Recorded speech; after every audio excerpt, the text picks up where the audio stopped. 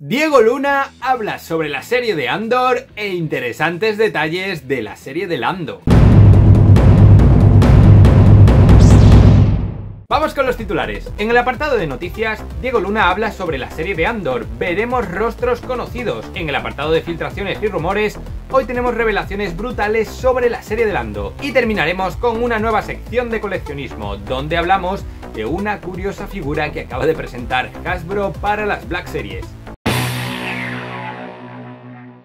Hola a todos perdidos y perdidas en HOT, bienvenidos a un nuevo vídeo de vuestro canal de Star Wars. Hoy de nuevo os traigo un vídeo con noticias muy pero que muy interesantes y vamos a comenzar hablando de una entrevista que Diego Luna ha concedido a Deadline, donde hablaba brevemente sobre la serie de Andor. El primer detalle interesante que nos deja esta entrevista y que yo al menos no conocía es que el propio Diego Luna va a ser productor de la serie. ¿Esto qué implica? Bueno, entre otras cosas que también ha estado en la toma de decisiones, o al menos en ciertas decisiones sobre eh, las directrices generales de esta serie. Os recuerdo que el guionista principal y showrunner de la serie es ni más ni menos que Tony Gilroy, que sin ir más lejos se encargó de arreglar el guion y de regrabar muchas de las escenas de Rogue One. Como en otras ocasiones, os voy a leer las principales declaraciones que hizo Diego Luna para Deadline y después los comentamos. Definitivamente verás caras conocidas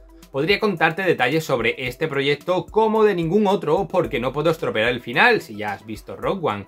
No importa lo que diga, no puedo arruinar el final. Aún así, realmente no puedo decir mucho. Lo que puedo contaros es que la experiencia fue literalmente una transformación para mí.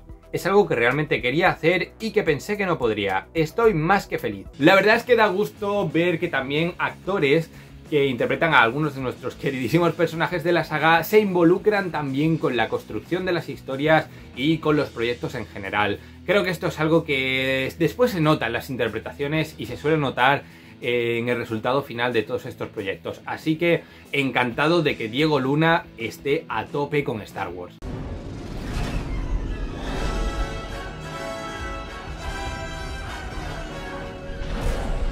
Obviamente lo más interesante de estas declaraciones es el comentario sobre que veremos caras o rostros conocidos. Esto ya se lleva rumoreando mucho tiempo, vamos a ver a personajes en esta serie como So Guerrera, seguramente al director Krennic, e incluso me atrevería a decir que a muchos de los personajes que vimos en Rogue One también repetirán. Entre ellos, ya sabéis, podemos ver de nuevo a Mon Mothma, también eh, a Bail Organa e incluso, ¿por qué no?, al general Draven, ¿no? Que fue uno de los personajes también bastante importantes dentro de todas esas escenas de Yavin 4 que tuvimos en Rogue One. Así que creo que esta serie, como ya os decía hace un par de días en un vídeo que hice sobre el tema, pues va a ser bastante homenaje o, incluso un prólogo de alguna manera a Rogue One. Y es algo que yo considero estupendo porque esta es sin duda la película que más me ha gustado desde que Disney se hizo con Lucasfilm.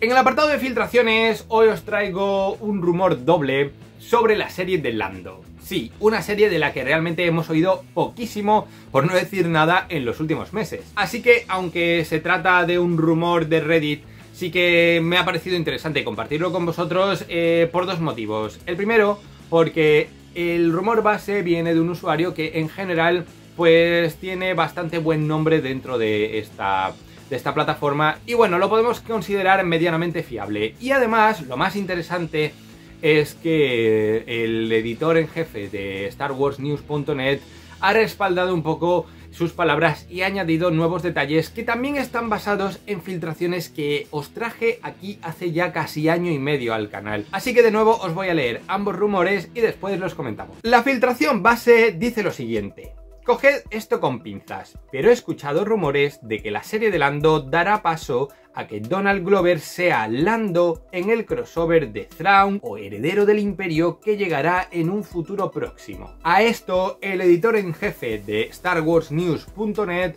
añade lo siguiente. Creo que lo que van a hacer es que Lando hable con Yana en un vuelo espacial como una especie de marco para la historia, y luego la historia principal estará ambientada en el momento temporal de la película de Han Solo. De esta manera pueden ofrecer un cierre a Billy D. Williams y finalmente usar su arco argumental de The Rise of Skywalker, mientras continúan la historia originalmente planeada para la secuela de Solo en el cine y la historia vinculada a The Mandalorian, ahora que parece evidente que utilizarán a personajes de la trilogía original. Voy a intentar eh, poner todo esto en contexto porque hay muchísima información aquí. En primer lugar, comenzando con la, con la filtración base. Eh, sí, ya hemos hablado aquí en el canal de que tal vez todas estas historias que, está englobando el Mandoverse o el Filoniverse o el Fabroniverse, como queráis llamarlo, desemboquen al final en un proyecto gigantesco que adapte hasta cierto punto la novela o la trilogía que comienza con Heredero del Imperio. Una trilogía protagonizada, entre otros personajes, por el gran almirante Thrawn y que también pues, nos mostró historias de los héroes que ya vimos en la trilogía original. También tiene una parte importante en toda esta historia el personaje de Lando. Por tanto, según esta filtración, Donald Glover sería el actor que interpretaría a este Lando en el futuro de las historias de The Mandalorian o del Mandoverse.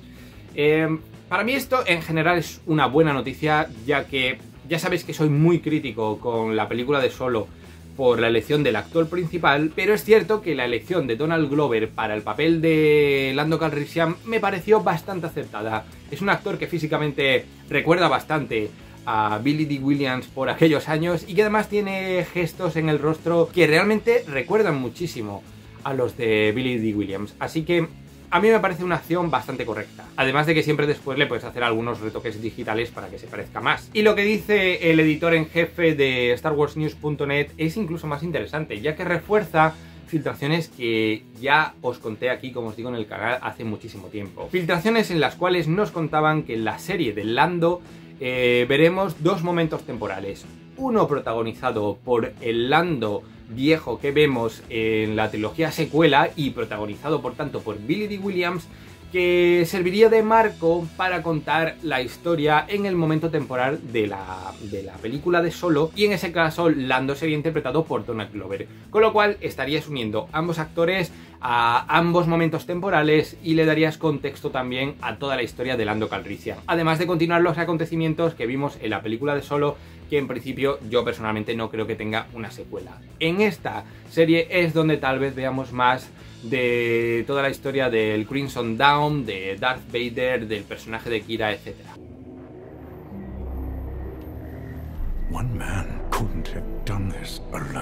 Si además consiguen que esta historia eh, enlace de alguna manera con los acontecimientos que después vamos a ver en The Mandalorian, aunque sea simplemente por traer a su protagonista, a Donald Glover interpretando a Lando Calrissian, yo ya me daría por satisfecho. Creo que sería una buena manera de unir todas estas historias y en general me parecería sobre todo un gran homenaje a Billy. Williams, independientemente de que después la historia esté más o menos ligada a la trilogía secuela. Realmente eso da un poco igual. Lo interesante es que veríamos de nuevo a Billy. Williams contando una historia de él de joven que sería eh, Donald Glover. No sé qué pensáis de todo este rumor, como siempre os digo en los comentarios me dejáis vuestras opiniones y además si no estáis suscritos al canal, ¿a qué esperáis? Y vamos para terminar con una breve sección de coleccionismo.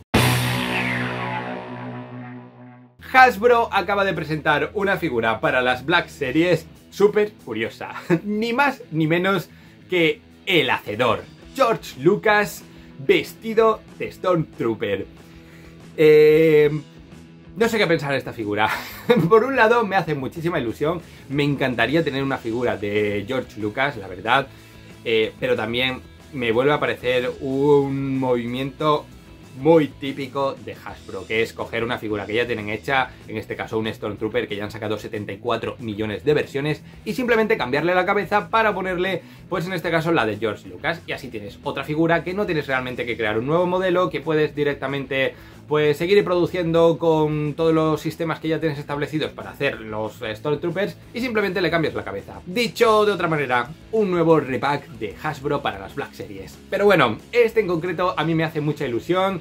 Eh, el pre-order saldrá muy pronto, así que estad atentos. Creo que saldrá de hecho en Amazon, así que por ahí lo podéis conseguir. Si no, seguro que en un futuro también estará en otro tipo de tiendas. Si es así, os informaré por supuesto.